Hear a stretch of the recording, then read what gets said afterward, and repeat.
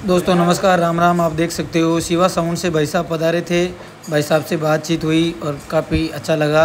Sir, train से आए थे। बाई ट्रेन होते हुए मॉर्निंग टाइम सुबह आठ बजे वर्कशॉप आ गए थे और उसके बाद में बातचीत की, आराम से फैक्ट्री विज़िट किया, पूरी फैक्ट्री के बारे में जानकारी ली।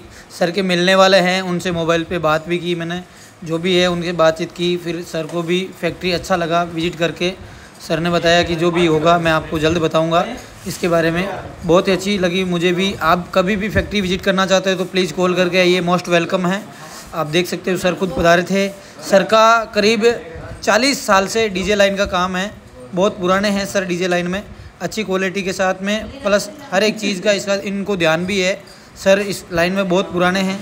शिवा साउंड से पधारने पर भाई साहब को बहुत बहुत धन्यवाद, जो फैक्ट्री विज़िट करने आए। मॉर्निंग सुबह आठ बजे, उसके बाद में सर से बातचीत की।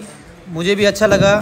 फिर सर जी ने बोला कि अब मेरे वापस कितने बजे ट्रेन है क्या है? मैंने कहा, आराम से आप पहले एक बार ट्रस्ट की जो बातचीत करने आए वो कीजिए और ट्रस्ट देखिए आपको। सर फिर फैक्ट्री से गोडाउन आए और वहाँ पर कलर का काम चल रहा प्रोसेस तो सर जी को वहाँ पर कलर का जो प्रोसेस चल रहा था, ट्रस्ट के बारे में बातचीत की। सर जी को ट्रस्ट के बारे में बताया और सर जी को फिनिशिंग और साफ़ सफ़ाई अच्छी लगी।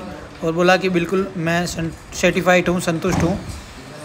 और बहुत जल्द जो भी होगा, बताएँगे। और जितना भी भाई साहब का ट्रस्ट बनेगा उसकी भी बारी जानकारी बताएँगे आपको। बहुत बहुत धन्यवाद दोस्तों। ऐसे ही सपोर्ट, प्यार से आशीर्वाद बनाए रखें। और डीजे ट्रस्ट के बारे में और कोई जानकारी लेनी है तो आप ज़रूर कांटेक्ट करें कॉल करें व्हाट्सअप करें। और डीजे फैक्ट्री से जुड़े रहें। प्यार से सपोर्ट करते रहें। आप देख सकते हो, सर जी खुद पधारे थे। फिर सर जी को आए मैं खुद रेलवे स्टेशन छोड़ने। कोई भी कस्टमर आता तो मेरी जवाबदारी बनती है, फिर सर जी को ट्रेन में बिठा दिया और फिर हम निकल गए फैक्ट्री के लिए। धन्यवाद सर थैंक यू